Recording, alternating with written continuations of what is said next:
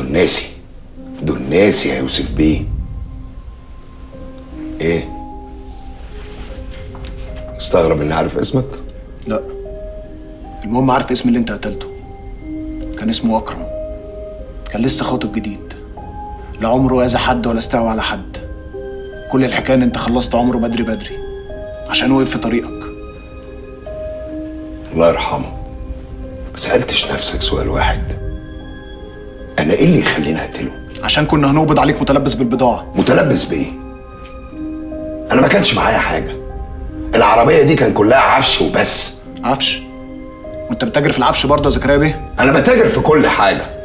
وعيلة العطارين معروف عنها إنها بتتاجر في كل حاجة. أنت مش شايف غير اللي أنت عايز تشوفه. أو بمعنى صح.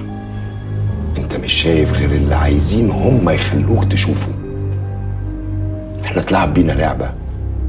لعبة خلتنا في الآخر نقف قصاد بعض. بدل ما تدور عليا دور على اللي حطنا في اللعبة دي. طب اسمع يا زكريا أنا لولا تقرير الطب الشرعي أنا ما كنتش قعدت معاك القعدة دي. كنت خلصت عليك من بره بره على طول. بس التقرير بيقول إن الطلقة جت من سلاح غير سلاحك. أديك سمعت؟ يبقى أنا ماليش دعوة بالطلقة. أنا لما رفعت سلاحي رفعت سلاحي عشان أدافع عن زميلك. وايه اللي يثبت لي إنه مش حد من رجالتك. وأنا رجالتي هتعمل كده ليه؟ باشا إحنا كان كل اللي همنا ساعتها إن إحنا نخلص الوقفة اللي كنا واقفينها ونتكل على الله. غير كده ما كانش لينا فيه. طب اسمع يا زكريا أنا شايف إن أنت هتنزل معايا القاهرة وهناك نحل الموضوع ده مع بعض. محدش هناك هيسمع اللي أنا بقوله ولا حد هيسمع لك ولا أنت هتعرف تساعدني هناك. يوسف بيه سيبها ماشية زي ما هي ماشية. لغاية ما نشوف آخرها إيه. خد واجبك عشان تلحق القطر. وأنا مش هينفع أسيبك يا زكريا نزلوا سلاحكم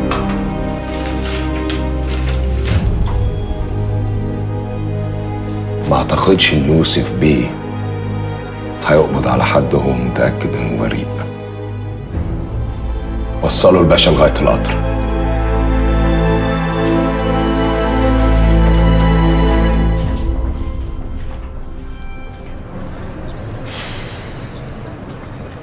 أنا أسفة قوي قوي يا فارس.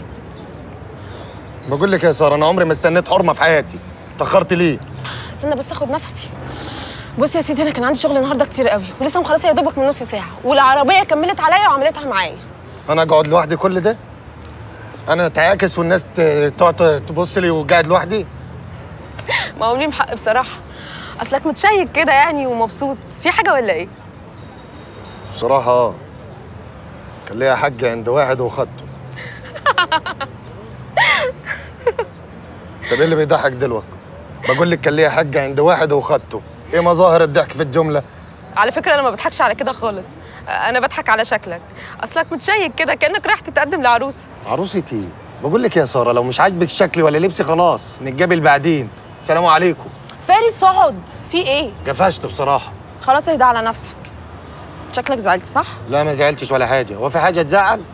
ما تقومي تضربيني بالجاف احسن يا عم خلاص بقى هصالحك. إيه رأيك؟ بجد مم. صالحيني؟ مم. كيف؟ لا انت فهمت غلط خالص على فكرة. أنا قصدي يعني أنا اللي هشيل العزومة النهارده. بجد دي إيه المفاجأة الجميلة دي؟ أنت اللي هتعزميني. مم. امم وهتوكليني؟ لا أنا ما قلتش أكل خالص. أنا قلت يعني أعزمك على كوباية شاي قهوة كنزاية. كنزاية؟ صدقي بالله أنا لو كنزاية ما رضيتش تشربيني. أقع في السكة. على طول بتهزر. طب أنا عندي فكرة. بصراحة أنا مش مرتاحة للمكان ده. ما تيجي كده نعمل حاجة جديدة نتمشى مثلا. امم ونروح على الكورنيش وناكل ترمس. الله! صدق نفسي في كده؟ ونشرب حلبسة وناكل بطاطا. يا أبوي على الحاجات الحلوة. عارف يا فارس أنا مم. عمري ما مشيت مع حد على الكورنيش. جد؟ آه والله. امم وجاي تحقق أحلامك معايا. طب إيه رأيك بقى يا ابن الزوات يا متشيك أنت كده بقى؟ أوديك وسط البلد ونقعد في التكعيبة نشرب شاي وأكلك عند سامح. سامح مين؟ إيه ده؟ في حد في مصر ما يعرفش سامح؟ أنا. فارس ما يعرفش سامح. إيه؟ عرفكوا على بعض النهارده. بص بقى يا سيدي انت تسيب لي نفسك خالص النهارده. هوريك الدنيا بشكل تاني خالص. بصراحة يا سارة أنا من ساعة ما عرفتك وأنا شفت الدنيا بشكل تاني خالص. وحاسس كده حاجات يعني ما حسيتهاش قبل كده. معرفش ده اسمه إيه يعني. أنا هسيب لك نفسي يا ستي. وأغمض عيني وتمسك يدي ووديني عند سامح عند أبو سامح. يعني أي حاجة أنت عايزاها. بجد؟ جد؟ طب يلا. عارف يا حزوم؟ أنا ممكن أموت فايقين أنت متأكد إن المخازن دي فيها سلاح هاشم الدهبي كله؟ طبعا يا زكريا بيه. بس ما عرفش إذا كان فيها السلاح اللي خده منيكم ولا لا. بس اللي أعرفه صح إن فيها ثلاث أضعاف أي شحنة كان ممكن ياخدها من العطارين. وأنا ما بقيتش شغال عند حد دلوقتي. والسلاح بيحموه عيلتنا. وعيلتنا وعيلتكم بيجوا واحد. وإحنا في ظهركم. إحنا محتاجين السلاح ده قوي يا معتصم. بالليل هتشوف بنفسك. لو كلامك ده صح هبقى مديون ليكوا برقبتي طول العمر. ربنا يديم المعروف يا زكريا بيه. جهز نفسك انت. أروح لبنت الملكومة دي. ما عايزانيش أخش عليها. ساسة يا معتصم. بالإذن يا بيه.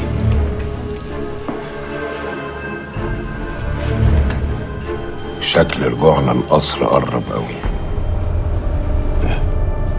ما خايفش يا ولدي إن الحكومة تاجي؟ هتاجي. عشان كده لازم بأسرع وقت نخلص. خلاص يا حبيبتي. مش اتجوزتيه؟ روحي له بقى. إيه اللي معادك عندي؟ اطلعوا على بيت جوزك. بيت جوزي فين يا فتحي؟ ما انت عارف كويس قوي اللي حصل في القصر. تروحي له فيلا مراد بيه ما هو خلاص. حضرتك بيتي حرم زكريا العطار واللي في بطنك ده ابن العطار. اكلكوا أنا ليه؟ يا لهوي مستخسر اللقمة في بنتك. هو أنت بقيت كده من إمتى؟ من زمان من ساعة ما عصتيني وما بتسمعيش كلامي. آه لو سمعتي كلامي. ما تأثر يا فتحي. عايز إيه كده من الآخر؟ عايز مصلحتي والحسن الحظ. مصلحتي هي مصلحتك؟ عايزك تقربي من حماتك وتراعيها وتشوفيها عايزة أي حاجة. حماتك وقعت النهاردة وهي في المستشفى دلوقتي. خدي ال 200 جنيه دول هاتلها شوكولاتة. يلا. يلا ما تتأخريش. ابقي هاتي الباقي. لا ناكل الطبق ده الأول بعدين أشغل لك اللي نفسك فيه.